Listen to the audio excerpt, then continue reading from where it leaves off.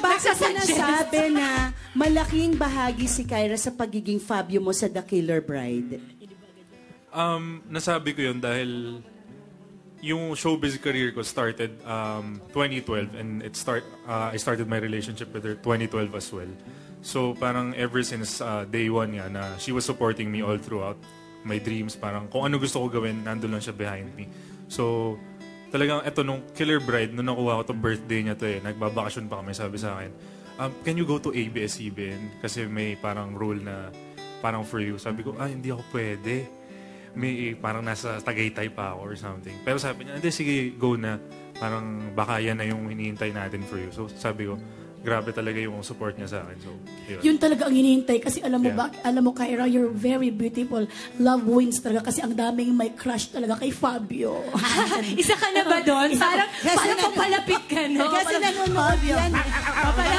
Hindi, kasi talagang nalaman natin na talagang long, may long-term relationship pala siya. Mm, hindi, tsaka, de- walk out na lang. Bye. Walk out ulit.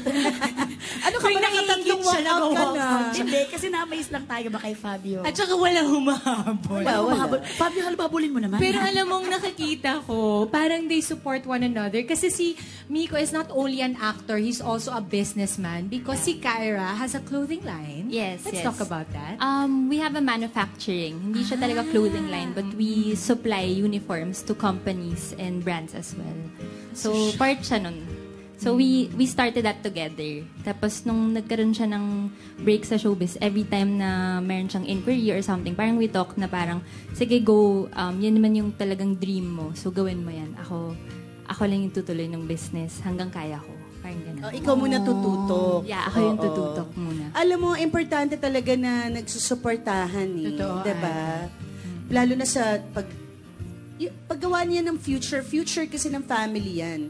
So kahit mag-start sa maliit na negosyo, dapat sinusupport mo yung partner mo kung ano yung naiisip, 'di ba? Kasi At alam niyo na talaga na kayo ang para sa isa't isa kasi you give the best out to each other. Yes. O, wag din naman kayong dalawang Ma'am Chedin at Ma'am Mainit yung ulo ni Ma'am She Carls. Uh, kumusta ba yun?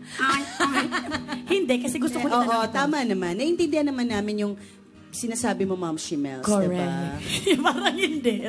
Hindi naman naman. Hindi. Ito ang gusto ko itanong sa inyong dalawa. Ano ang gusto nyong ipangako sa isa't isa bago pa man ang wedding day? Dito talaga? Yes, because we love it. Alam mo naman tayo mga mamshi, di ba? Mga una-una tayo eh. Yes. Vows na ba to? Um, gusto ko lang mag-promise sa kanya na dapat ba ganito? Ayan. Nakakakilig!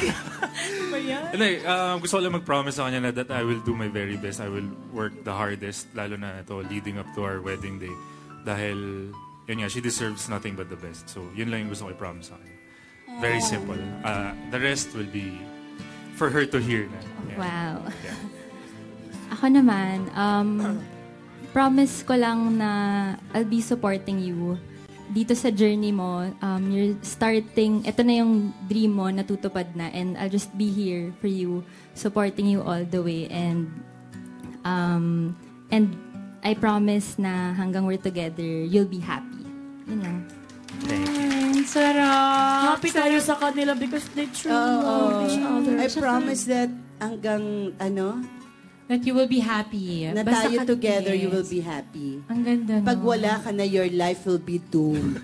Ay, parang gano'n kasi yung Parang- parang kinurse mo pa. Parang family facet na yun. Hindi naman sila mawawala. Oo. ano, sa isa't isa. Constant. Oo. Well, thank you.